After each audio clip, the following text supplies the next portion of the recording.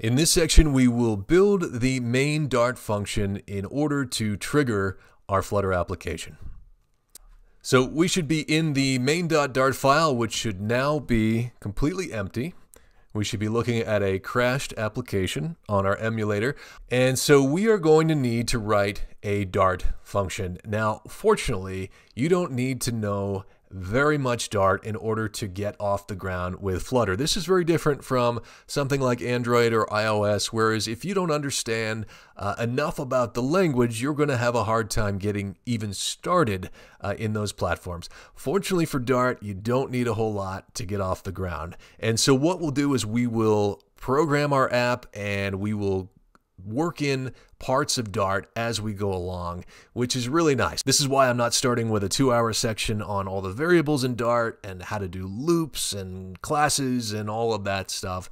We don't need to do that to build a Flutter application. You will eventually need to know the Dart language well in order to be successful in Flutter, but you don't need it to start. And so we're going to get started with an application and weave Dart knowledge in as we go. So our first function is going to be a void, and that just means it doesn't return anything.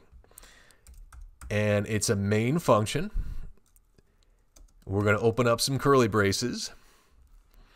And now we're going to take advantage of part of the Flutter platform, and we are going to call a function called run app, like that. A semicolon, and believe it or not, we are done with our main function. Now we have a couple of problems. One is inside of this run app, we need to pass it an app to run, and we don't have that. That's going to be the next thing we build. But the other problem is, is our Visual Studio Code is not recognizing this run app, and that's because it is not part of Dart, it is part of the Flutter platform. And we need to import that portion of the Flutter platform that contains that function. And so anytime we have a, a lack of an import, we can hover over it. We can go to this nice little light bulb and it will give us some options. And it will give us actually three different packages or libraries that we can import from that would resolve this error. And we want to go with package flutter slash material dart.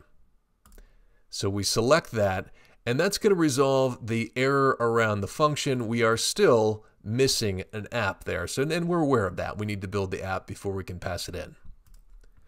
Now, I don't want you to get too bogged down in this import up here, but you saw that there were other options, and that is because Flutter offers multiple types of applications, and Material is one of those types of applications, and it's based on material design, which is uh, you can learn more about at material.io. And this is a Google design system that if you use Google products or a lot of Android is going to look very familiar. And the Flutter material library provides a lot of widgets that have these design implementations and specifications already implemented. So if you are wanting to use the material design system, uh, it's very easy to do with the material library in Flutter. So that's what we're going to start with.